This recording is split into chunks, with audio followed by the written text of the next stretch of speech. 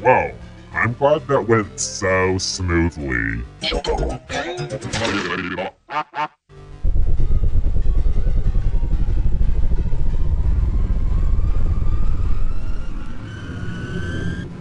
Never mind.